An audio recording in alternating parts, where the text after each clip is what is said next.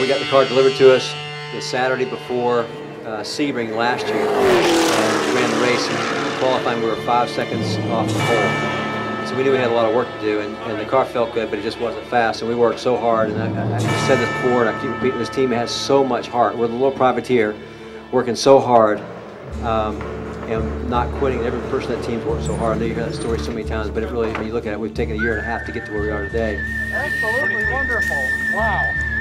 Um, we didn't have the resources of the factory or the the funding or the, the uh, technology, and so we just had to have some smart folks and just kind of we all put our heads together and worked really hard at it.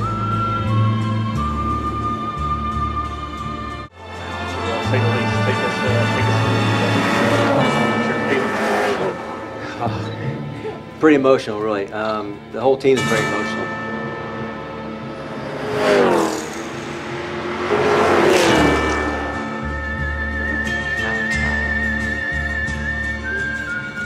Well, in the off season, we worked really hard on a lot of things. Uh, went and tested at Sebring probably 10 days in January and continued doing some more development.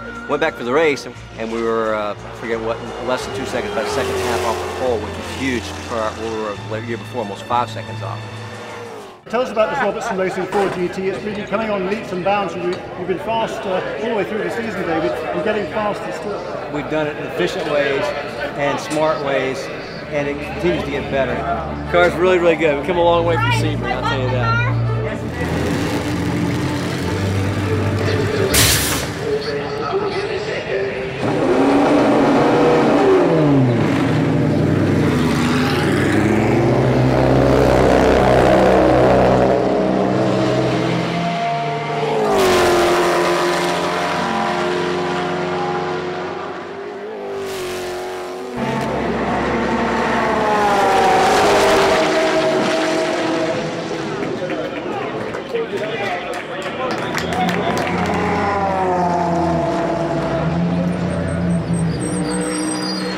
Time we did, came in, we were quickest at that time, and then sitting there, that's when the uh, I think moved back to third place or wherever it was. For a while, Murry was on the pole. The Corvette just took it away from him, but by less than a hundredth of a second. It's unreal. So uh, I think Greg Kramer came up and gave me a thumbs up, and I said, I'm going back out because for us, it'd be great to be in the top three, but it's not like the pole think there may be still a little bit left in this. Chatted with Dave Robertson quickly, and he said a brilliant lap by David, but David thinks there might be more in it. He's just giving it a little breather to cool the tires off.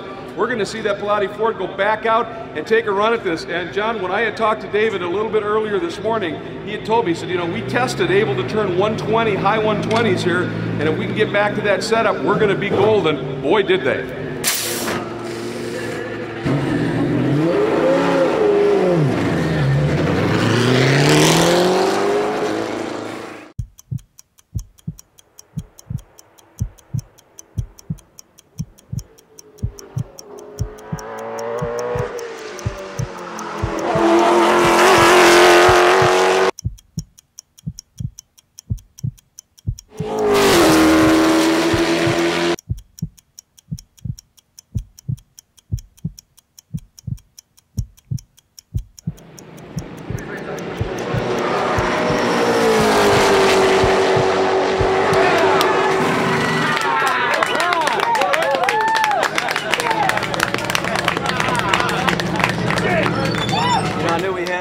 Wanted to make sure I got it out of there. And I'm so proud of the team.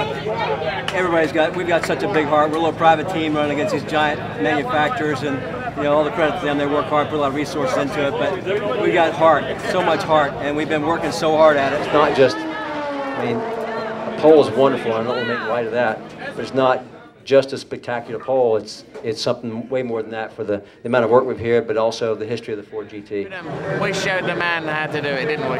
That car looked fantastic on that track yesterday.